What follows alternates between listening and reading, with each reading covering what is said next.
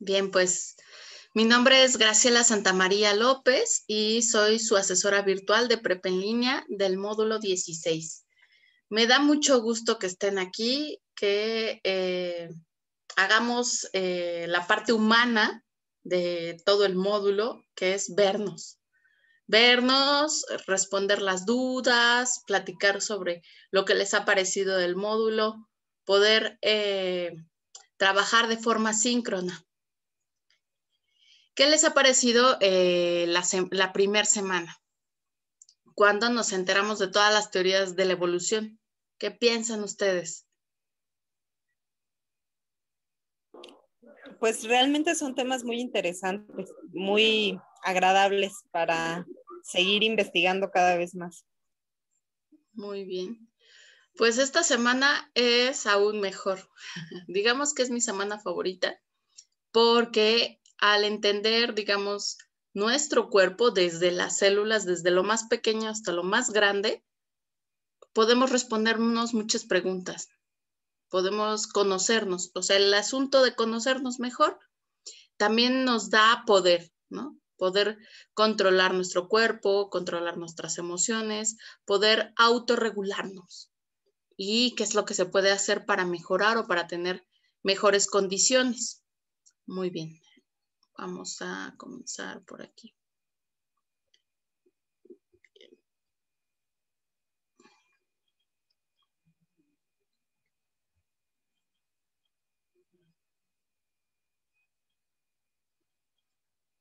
Bien, semana 2. El orden de nuestra clase es, vamos a hablar de fuentes confiables de información. Vamos a hablar sobre la actividad 3, el ciclo celular, las opciones para hacer la historieta. Buenas noches, Elizabeth, bienvenida. Eh, la actividad 4 sobre las mutaciones genéticas, el foro de Aprendiendo Ciencia y las actividades formativas. Muy bien.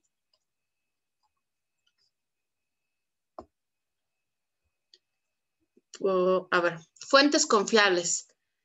En esta semana es muy probable que tengamos que investigar. Entonces, ¿qué tengo que hacer? podemos irnos. No sé si ustedes conozcan un buscador muy sencillo que se llama Google Escolar. Escolar o Scholar en inglés. Me va a dar, eh, el Google eh, académico me va a dar artículos en referencia a lo que yo estoy queriendo investigar. Por ejemplo, en esta semana hay enfermedades en relación a las mutaciones. Ah, bueno, entonces enferme, enferme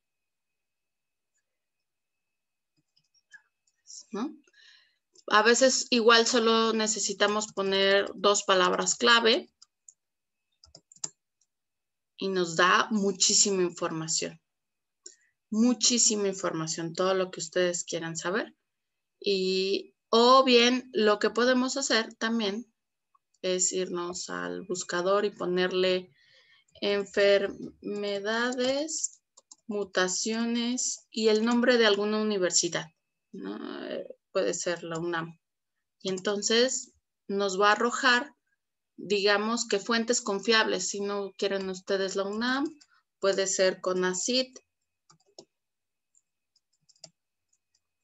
Y habrá muchísimas investigaciones, ¿no? O puede ser que ustedes piensen en, en la Universidad de Guanajuato,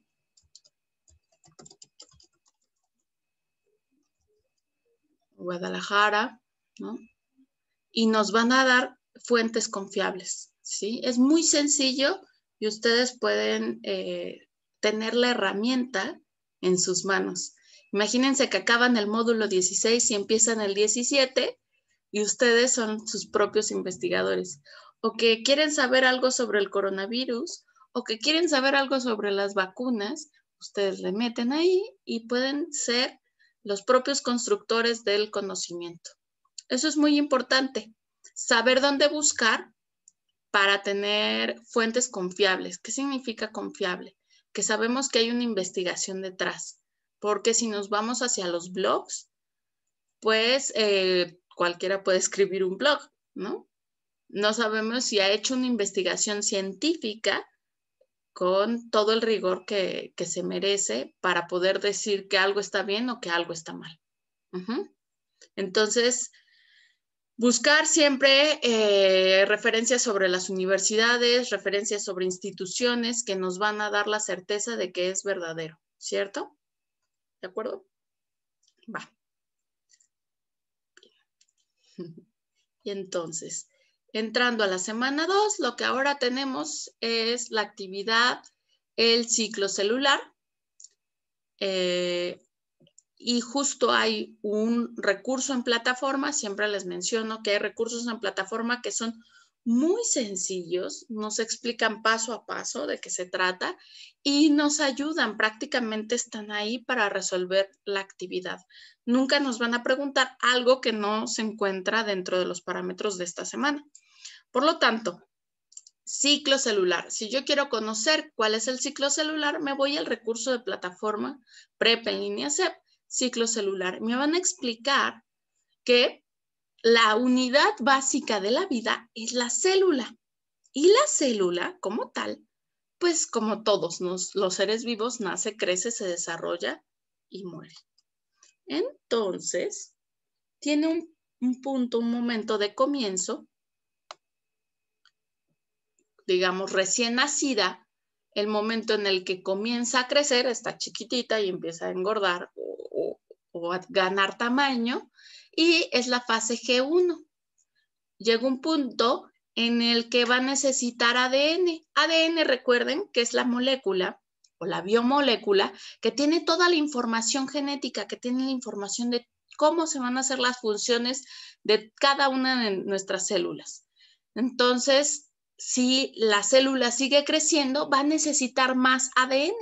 Por lo tanto, va a entrar a una fase S o de síntesis de ADN, de replicación de ADN. Entonces, si tiene una, si tiene una, eh, una porción, tiene que tener al final dos porciones, el doble, ¿no? Entonces, está generando ADN. Va a continuar su crecimiento, la célula, y va a empezar la formación del uso mitótico o el uso acromático.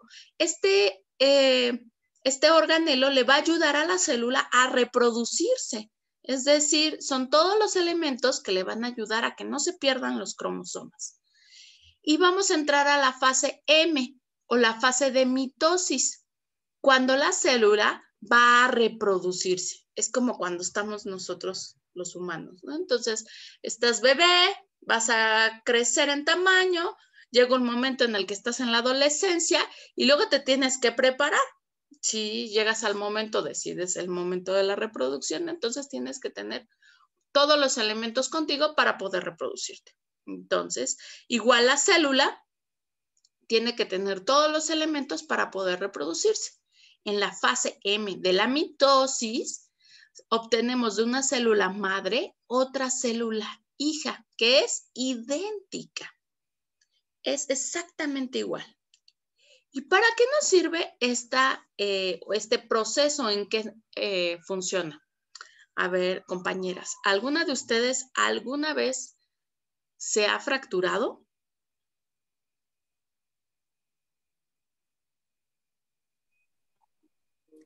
Sí, las muñecas.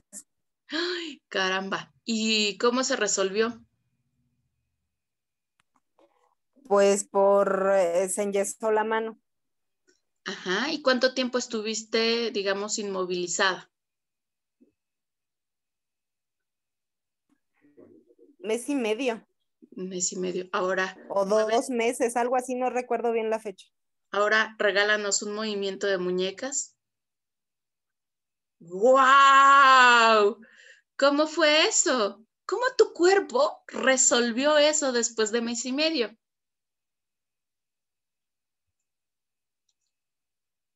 ¿Cómo que, perdón? ¿Cómo tu cuerpo resolvió esto de la fractura de muñecas después de mes y medio?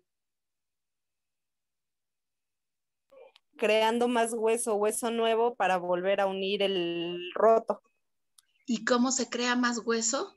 Con más células.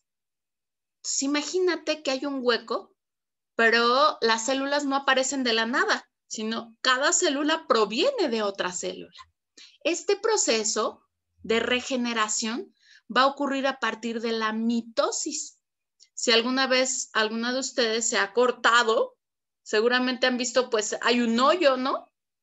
Y de pronto sale primero un suerito y luego suele y suele salir sangre, se genera una costra, después de un tiempo esa costra se cae y aparece una piel nueva, ¿no? Perfecto.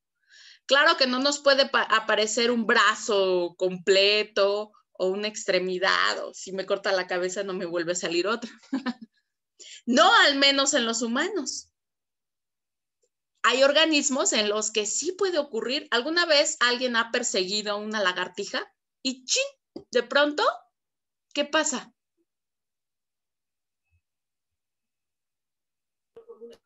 Para cortarle la cola, ¿no? Las lagartijas sueltan la cola, ¿no? Sueltan la cola porque es como una distracción, que se coma mi cola mientras yo puedo salir corriendo. Ah, bueno, las estrellas de mar hacen lo mismo, tienen la misma estrategia. La lagartija puede regenerar su cola. En general, los reptiles pueden regenerar eh, las estrellas de mar. A partir de un pedacito de estrella de mar pueden generar una estrella de mar completa. ¡Wow! Qué genial sería y no tendríamos esos problemas si se nos si hay personas que tienen accidentes y pierden dedos o extremidades. Bueno, en los humanos eso no ocurre, pero sí ocurre esto maravilloso que le acaba de ocurrir a Gabriela. Bueno, no le acaba de ocurrir, pero que ella puede mover sus muñecas y que además nosotros podemos andar por ahí, de pronto tener un pequeño accidente y poder, nuestro cuerpo lo puede resolver. Es tan importante este proceso de regeneración celular que deberíamos conocerlo, entenderlo, entender lo que pasa en nuestro cuerpo. Y entonces, en esta actividad número tres, lo que, el objetivo de esta actividad es que ustedes aprendan qué es lo que está pasando en su cuerpo. Esta eh, mitosis. Bien, ¿y qué es lo que me van a pedir que haga? Necesito hacer una historieta sobre el ciclo celular. Este es un ejemplo. Un colega hizo una historieta, pero él la hizo sobre las bacterias. Eh, no, es, no es muy complicado, solo hay que utilizar nuestro ingenio. Primero hay que leer sobre el ciclo celular, primero y antes que nada, y para cualquier actividad hay que leer. ¿Por qué? Porque así te empapas, ya sabes de qué se trata y luego empiezas a usar tu imaginación, dejar, eh, dejar que todo funcione. Yo tengo una duda. Ok, dígame.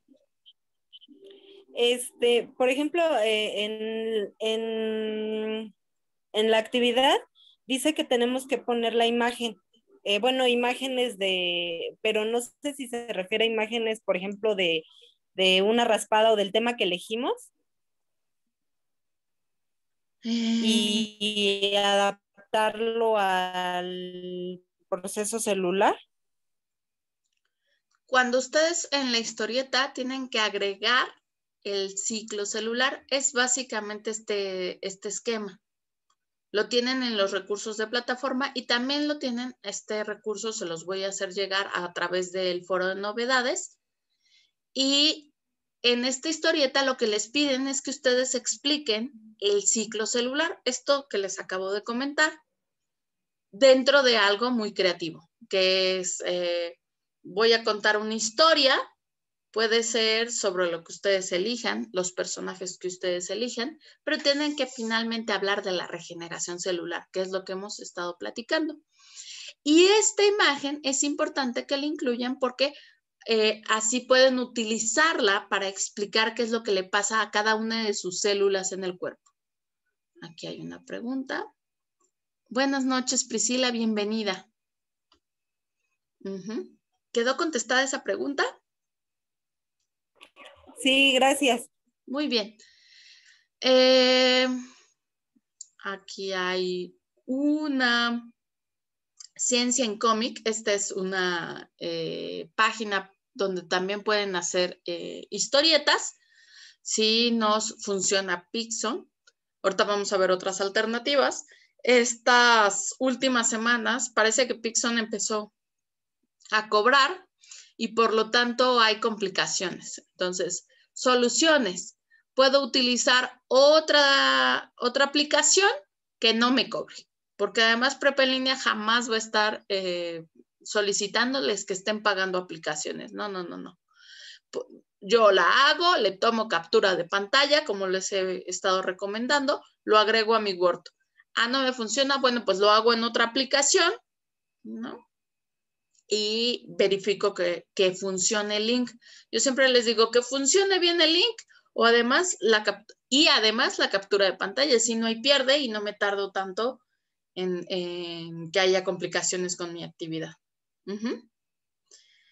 Y, ah, bueno, entonces, ¿qué tengo que hacer cuando estoy haciendo una historieta? Bueno, lo primero que hay que hacer, lo primero que hay que hacer es eh, leer mucho sobre el tema.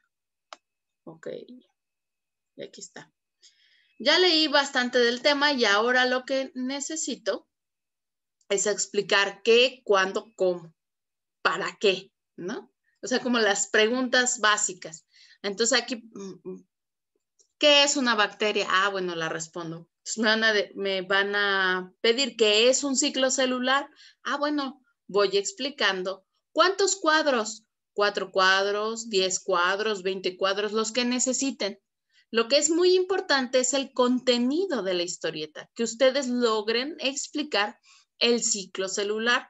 ¿Cuáles son los puntos o los elementos? Pues yo tengo que leer mi actividad, me voy a mi actividad número uno, digo, perdón, mi actividad número tres, y me está pidiendo que yo explique el ciclo celular necesito, eh, tiene que contener un título y tener imágenes alusivas al tema. Y los globos o el texto en las viñetas tienen que dar explicación a este ciclo celular, todo el ciclo y las fases que hemos estado revisando. Y eh, tienes que trabajarlo, puede ser en un animal, en una planta, en el cuerpo humano y hablar de la regeneración celular. Eso es muy importante. Entonces,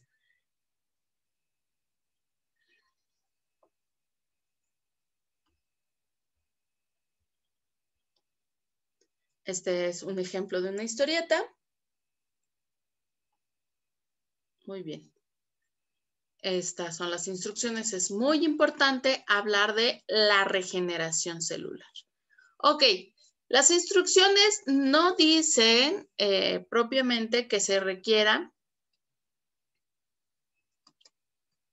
Ah, no, sí dice fuentes de información.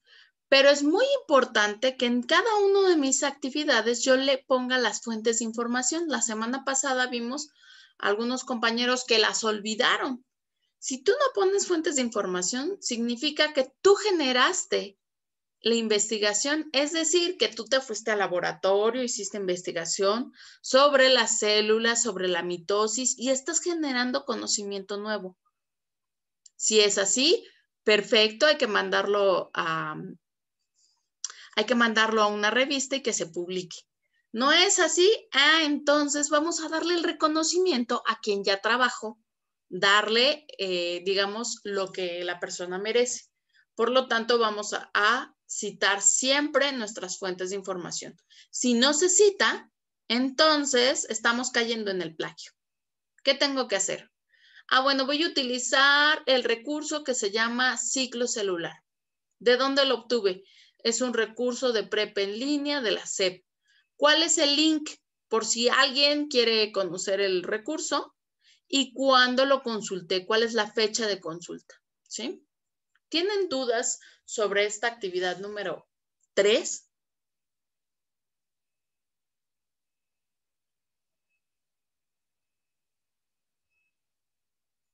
No.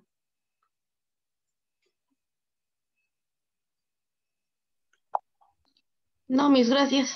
Ah, bien. Muchas gracias. No, gracias. Opciones para hacer la historieta. Tenemos Storyboard, Board That. Y esta es una versión en español. Estas eh, recomendaciones van a estar en, el foro de novedades. Está Make Believe Comics. Está Photojet Comic. Y además también, si de pronto es, eh, les llegaran a cobrar, pueden utilizar PowerPoint. Ponen las imágenes, ponen los globitos en PowerPoint y explico el ciclo celular. ¿Tienen dudas? ¿Qué voy a hacer si PictoShart me quiere cobrar? Me voy a otra aplicación. Si la aplicación eh, me es complicada, me voy a PowerPoint. Si no, pues le tomo captura de pantalla y lo, y lo, y lo entrego dentro de mi procesador de textos. ¿Ok? Una pregunta. Sí. Si lo, si, si lo hacemos en PowerPoint, ¿tenemos que enviarle la liga del PowerPoint o nada más con las imágenes o cómo lo manejamos ahí? Ajá, con las imágenes. Y lo incluyes en el Word. Ah, ok. Muchas gracias. Sí. Muy bien. Entonces, entremos a la actividad número cuatro, que se llama mutaciones genéticas.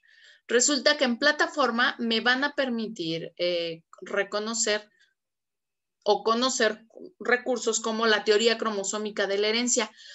¿Cómo eh, se pasa información genética de mi abuelo a mí, a mis, de mi abuelo a mis padres y de mis padres a mí? Esto, ¿en qué momento ocurren modificaciones o alteraciones en el ADN? Aquí vamos a ver los tipos de mutaciones que existen en el ADN y cómo se pueden transmitir de padres a hijos. ¿Qué es la genética molecular? ¿Cuál es eh, y cómo influye la medicina, la farmacología? ¿Cómo puede haber soluciones en la reproducción asistida? Es decir, si hay alguna posibilidad de que eh, mi abuelo tuvo hemofilia o el abuelo de alguien tuvo hemofilia y que alguno de sus nietos o parientes presenten este, eh, este carácter, que podría modificarse. Actualmente ya hay modificaciones y biotecnológicamente se puede intervenir, pero en relación a eso, ¿qué tipo de legislación está permitiendo que la ciencia y la tecnología pueda ser utilizada? Porque hay que tener ética cuándo sí, cuándo no y sobre cómo vamos a tomar esas decisiones. Entonces, para esta actividad es importante que reconozcamos cuáles son las enfermedades que provienen de las mutaciones. Para eso les voy a presentar dos recursos, que es eh, este, sobre los tipos de enfermedades genéticas, nos van a hablar de las características y cómo se relacionan. Puede ser anomalías cromosómicas, pueden ser a nivel genético o eh, alguna modificación en el par de bases, en algún par de bases. Este artículo se los recomiendo leer. Es muy importante, digamos, como base o como características generales en relación a la actividad número cuatro. Este habla sobre igual las enfermedades genéticas y nos va a hablar desde qué es la genética y cómo estas alteraciones pueden estar presentando síndromes, por ejemplo, el síndrome de Down, el síndrome de Edward, eh, las trisomías. Este artículo les va a gustar muchísimo. De pronto conoceremos algunas características de personas que, eh, que tienen eh, ciertos rasgos, físicos y sabremos que hay algún tipo de alteración genética. Muy bien. Entonces, para la actividad número 4 se llama mutaciones genéticas y tengo que investigar alguna enfermedad que presente una mutación genética y explicar en base a estudios la parte eh, cultural, ética, medicinal y social. Bien, las mutaciones, digamos que son cambios, si ustedes observan en este esquema, son cambios en el material genético de un organismo vivo. Ah, bueno, pues aquí tenía la información del el tipo de dientes que va a tener. Y chin, hubo una modificación. Resulta que ahora los dientes no los tiene derechitos, sino los tiene chuecos, por poner un ejemplo. Ah, no, dice que va a tener unos colmillos grandes para desgarrar la carne. O está perdiendo las muelas del juicio. Ah, caray.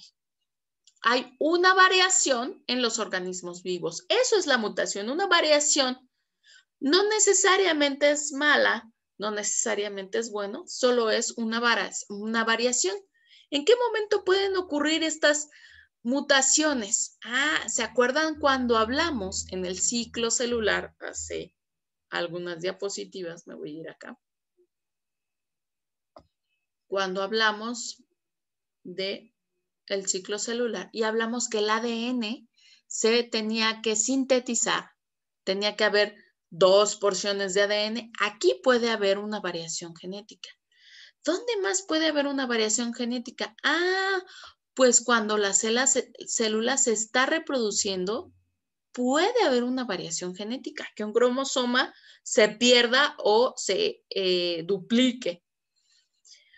¿Dónde más puede haber una variación genética? En la recombinación genética puede haber esa variación genética. ¿Cuántos tipos de variaciones genéticas hay? Ah, pues si se borra una base nitrogenada se llama de lesión. Si de pronto entra una base o un par de bases que no había, se llamará inserción. Puede haber un cambio y se llamará sustitución.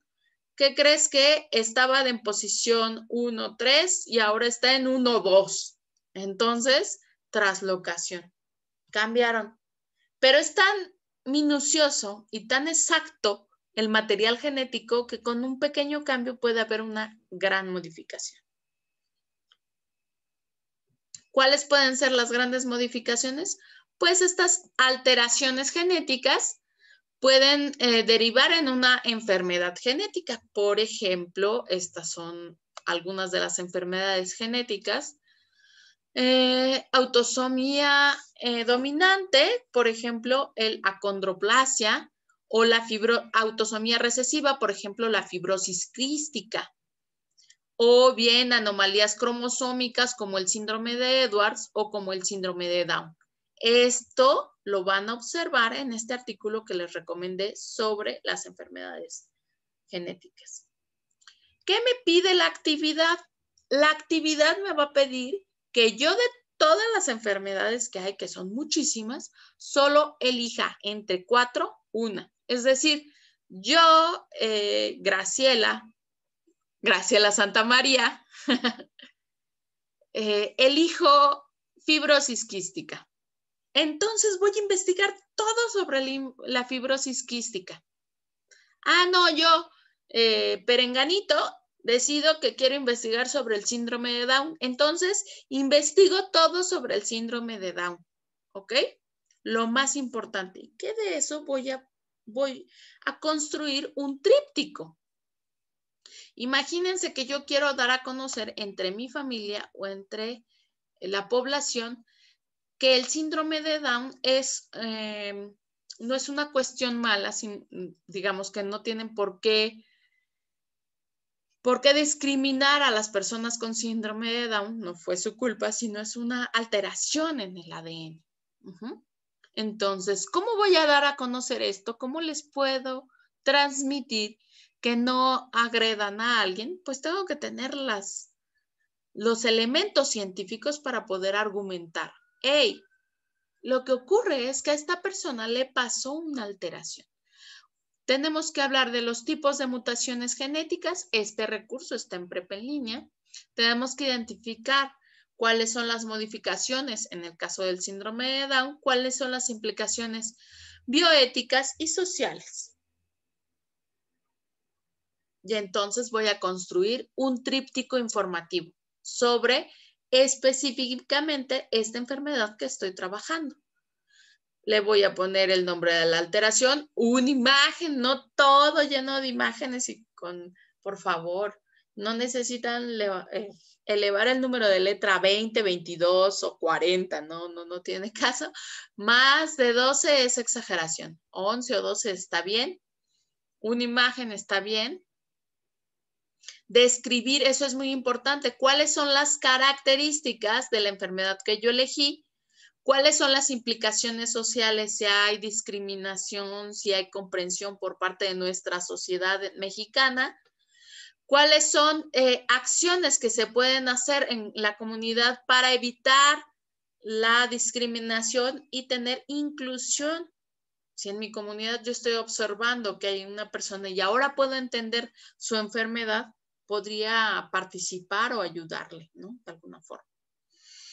Menciona los avances científicos, les decía, eh, qué tipo de tratamiento existe ya para poder ah, ayudar en este tipo de enfermedades. Y como en todas las actividades, las fuentes de información son de suma importancia. Quien no incluya fuentes de información significa que estamos cayendo en el plagio, porque estamos tomando información de alguien sin siquiera darle el reconocimiento. Y eso es una práctica deshonesta. Entonces, les recomiendo que en todas sus actividades y de aquí para toda eh, su vida académica siempre utilicen las fuentes de información. ¿Tienen dudas sobre la actividad 4? Sí, perdón. Las fuentes de información en ambas actividades las vamos a colocar en Word directamente, ¿verdad? Sí. Ok, gracias. Por aquí hay una pregunta. Muy bien, Cecilia. Muchas gracias. ¿El tríptico dónde lo vamos a hacer, maestra? ¿En, ¿En, alguna aplicación o en Word? Pueden hacerlo en la aplicación que ustedes gusten, pero lo van a entregar en Word. O bien lo hacen en Word. ¿Y de la o, sea, ¿se puede entregar con estas cuatro? ¿O de si investigamos otra, puede ser otra? No, utilicen estas cuatro. Ok. Cualquiera de estas cuatro. O sea que se puede entregar como screenshot de alguna aplicación, por ejemplo, de Canva y pegarlo en Word para entregarlo ahí. Sí. Ok. Sí. Gracias. Claro que sea de su autoría, eso es muy importante, que no, no tiene caso caer en el plagio porque, porque quienes pierden son ustedes. Se pierden la oportunidad de aprender algo que es maravilloso y que les va a funcionar, ¿no? Para toda la vida. Bien. Se nota cuando, cuando hay quienes se esfuerzan y elaboran su trabajo, es hermoso y, merece la calificación que, de ese trabajo y de ese esfuerzo. Muy bien. Eh, para esta semana tenemos otro foro que funciona para que todos aprendamos, el foro de Aprendiendo Ciencia. Es muy importante porque los foros fueron generados dentro de Prepa en línea para tener este espacio de reflexión, este espacio de trabajo. Hola, buenas noches. para poder construir un conocimiento entre todos, ¿no? La pregunta detonadora, ¿qué aspectos se involucran en la toma de decisiones? Imagínense que un familiar eh, o a Juanito, vamos a poner a nuestro, a nuestro personaje ficticio, Juanito y Juanita van a tener un hijo y es muy probable que haya, porque en la familia de Juanito haya alguna modificación genética y algún, se ha presentado en otras generaciones enfermedades. Pero ya van a tener un hijo, ¿no? ¿Creen que podría, antes de que nazca el bebé, haber alguna, eh, algún tratamiento? ¿Qué podemos hacer? ¿Y ustedes qué? Modificarlo genéticamente. Para que nazca bien. ¿Ok? ¿Y cómo tomas la decisión?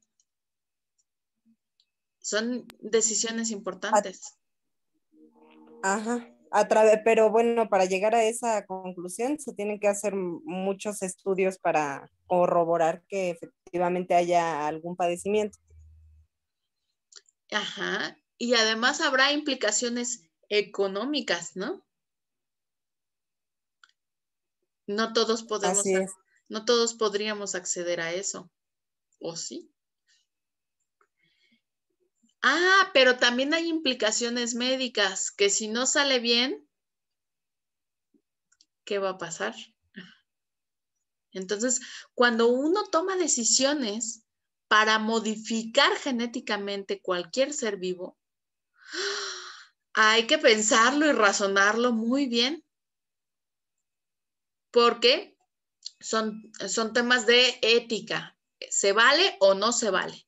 En esta semana, la reflexión es sobre cómo tomar ese tipo de decisiones. Entonces, yo los invito siempre a leer los recursos que se encuentran en la plataforma y con eso van a generarse un montón de ideas y con ello ustedes van a querer participar y de pronto lo ligan con algo en lo que están viviendo. No todos los espacios educativos tienen esta oportunidad de generar un debate ocúpenlo, utilícenlo, hagan lo suyo. El poder generar la habilidad de argumentar, de debatir con mucho respeto. ¿Tienen dudas sobre el foro de Aprendiendo Ciencia de esta semana? No. Muchas gracias. Muy bien. Al final de la semana, si ustedes ya leyeron los recursos de plataforma, van a tener dos cuestionarios, el ciclo celular y alteraciones del ADN. Son las actividades formativas, no tienen calificación ciertamente, pero sí son tomadas en cuenta al final del módulo como una participación. Y significa que yo puedo eh, reafirmar el conocimiento, reforzar el conocimiento de lo que yo he estado aprendiendo a lo largo de la semana. Entonces, ¿Tengo que resolverlas? Sí. ¿Me van a ayudar?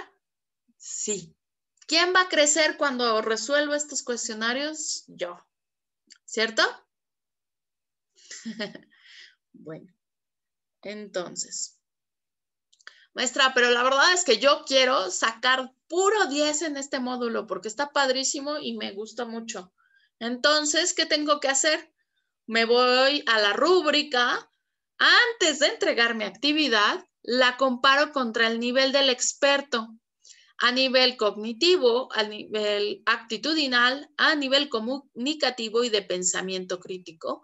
Y si yo observo que mi actividad está como el nivel del experto, entonces, perfecto la reviso, que, tenga, que no tenga faltas de ortografía, esté siguiendo las instrucciones y además que tenga las fuentes de información, seguramente mi nivel del experto me va a decir que yo voy a sacar 100 y así les va a ir muy bien en este módulo.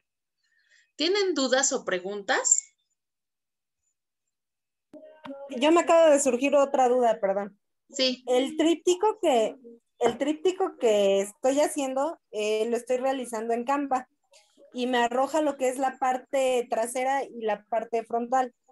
¿Adjunto las dos o solamente con una parte o cómo? Adjúntalo todo. Ajá. Ok.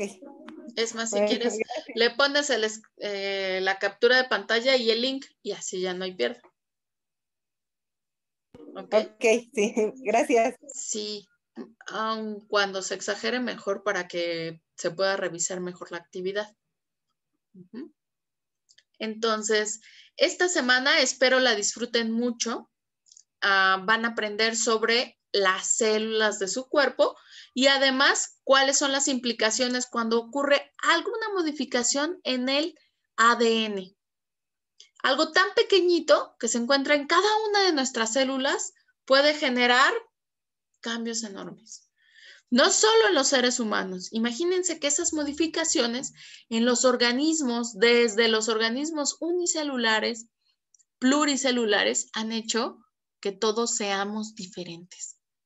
Ah, caray, si alguna vez se han pensado o reflexionado sobre cuál es el origen de nosotros los humanos, de los mamíferos, de dónde provenimos, cuál es el origen de la vida.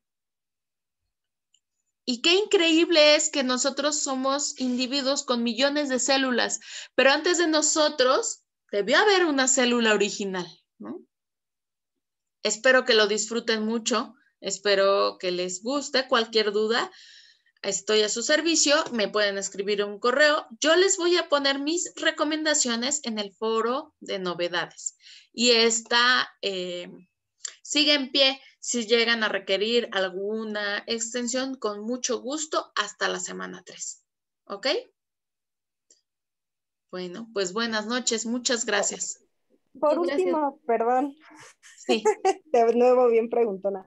No, este, eh, por ejemplo, el problema que comentaba de, de, de Pixton, eh, sí lo tuve, no me permite compartir la liga. Eh, tampoco me permite pegar imágenes. Entonces, este, si no encontrara otro, otro lugar en donde hacerla, Sí, hay otras aplicaciones para hacer cómics. Son estas que les acabo de mostrar y se las voy a agregar en el foro de novedades. Entonces, sí es posible hacer en otra aplicación, sí lo es. No necesitas pagarle a Pixon. Entonces, descártalo y vas a otra aplicación. Si no te funciona y te hace muy complicado, bueno, hazlo en PowerPoint y lo agregas al Word. ¿Ok? Ok, muchas gracias. Muy bien. Eh, compañera que levantó la mano, ¿tiene usted pregunta? Sí, maestra, este, quería preguntarle, igual con respecto a Piston, este, yo tengo, bueno, de las historietas anteriores, quisiera yo reutilizar las plantillas, pero eso cae como plagio o las puedo reutilizar nada más cambiando las burbujas de conversación. Siempre y cuando lo generes tú, o sea, si tienes el nombre. Es que queda, quedan como guardadas las historietas anteriores que se han realizado en otras actividades. Entonces, creo que, bueno, para mí se me haría más fácil como cambiar nada más con el, con el tema que estamos viendo ahorita. Ok. Eh, las burbujas de conversación, por así decirlas. No me parece mal, siempre y cuando lo estés haciendo tú. Ok, sí, porque de hecho creo que podría mandarle como aparte del link una evidencia de, lo que es nuestra cuenta, porque nos, nos, da la opción de elegir un, este, un avatar o algo así con nuestro nombre personalizado. Entonces podría ser una evidencia, digo yo. Sí, claro. Y además recuerden, por ejemplo, además de que hiciste la historieta, utilizaste la información base, por ejemplo, de Prep en línea o si quieren hacerlo del recurso que les ofrecí, o si quieren ustedes buscar en alguna otra plataforma más información, de donde tengo el contenido, también tengo que citarlo. Y ya así ya no estás cayendo en plagio. Gracias. Bien. Bueno, muy buenas preguntas. Muchas gracias, porque esto nos enriquece a todos los compañeros, siempre nos va a enriquecer, ¿ok? Entonces, mil gracias por estar aquí. Mm, cualquier cosa nos escribimos. Buenas noches. Hasta luego. Buenas noches, gracias. Hasta luego.